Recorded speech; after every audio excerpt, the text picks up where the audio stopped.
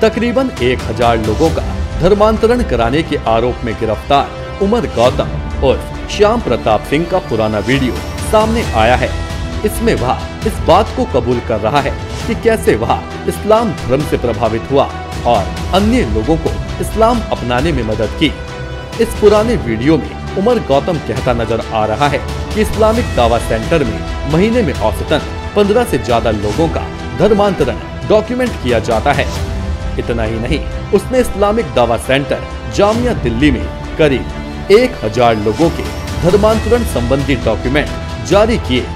आप भी सुने। सेंटर में एक हज़ार से ज़्यादा लोगों के लीगल डॉक्यूमेंटेशन की फॉर्मेलिटीज पूरी की गई हैं।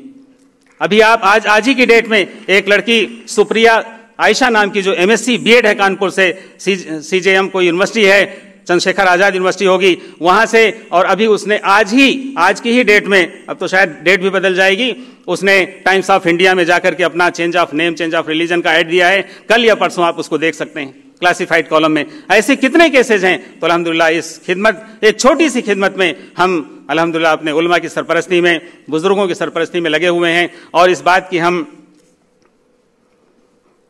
कोशिश करते हैं कि ऐसे लोगों की मदद हो जो दीन कबूल करते हैं, दीन में दाखिल होते हैं और उनको बाकायदे मोरल सपोर्ट दिया जाए लीगल सपोर्ट दिया जाए और उनकी जो भी बेहतर से बेहतर रहनुमाई होती है, वो की जाए। और अल्लाह का फजल है कि अल्हम्दुलिल्लाह ऐसे लोग, यानी बहुत सारे लोग हैं जो यहाँ के भी हैं, बाहर के भी हैं। हमारे यहाँ इस्लामिक दावा सेंटर में पोलैंड से पुर्तगाल से जर्मनी से सिंगापुर से अमेरिका से इंग्लैंड से कहीं कितने ममालिक से लोग आकर के उन्होंने वहाँ से अपना लीगल असिस्टेंस भी लिया उनकी मैरिजेस के भी मामला हुए कोर्ट मैरिज के भी मामला हुए और अल्हम्दुलिल्लाह कुरान और सुन्नत की, की तालीम को वहाँ तक पहुँचाना है जहाँ तक अल्लाह तबारक ताला की तोफ़ी हासिल होगी।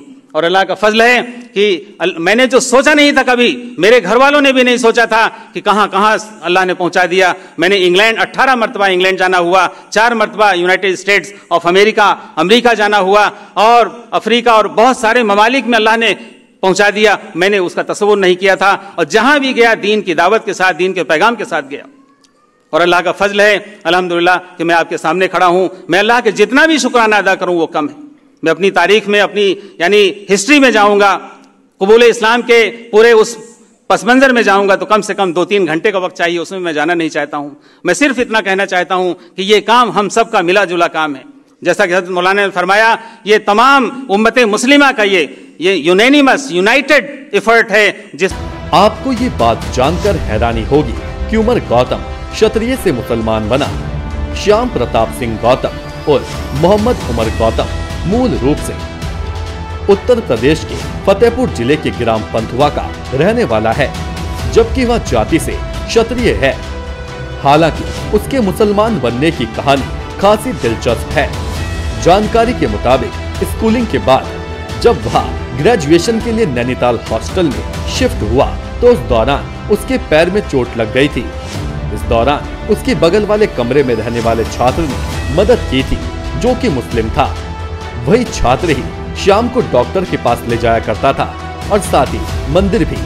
इसके बाद शाम का इस्लाम के प्रति झुकाव हो गया और उसने इस्लाम की किताबें हिंदी में पढ़ी तो उस पर इसका गहरा असर हुआ। इसी वजह से उसने उन्नीस सौ चौरासी में अपना धर्म परिवर्तित कर लिया और श्याम प्रताप सिंह गौतम से मोहम्मद उमर गौतम बन गया। Bureau report, nation one.